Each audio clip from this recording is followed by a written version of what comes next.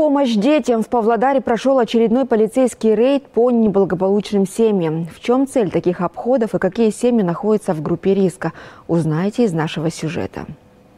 Руководство такими рейдами возложено на ответственных инспекторов, чьи действия направлены на выявление и помощь семьям, оказавшимся в трудной ситуации. Всего на патрульном участке номер 14 4 неблагополучные семьи. С 20 ноября у нас проходит УПМ «Республиканское оперативное профилактическое мероприятие «Правопорядок».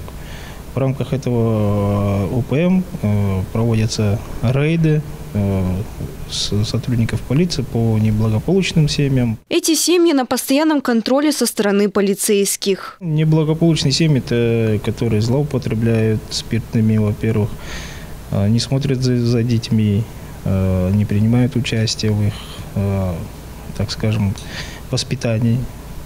Вот такие, такие семьи выявляем, ставим на учет и дальше с ними работаем.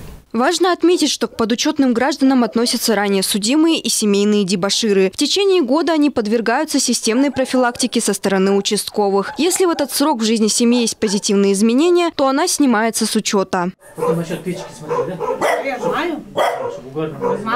Я знаю. Уже пять лет здесь живут. Чё? Горит все нормально? Да. Чистят же.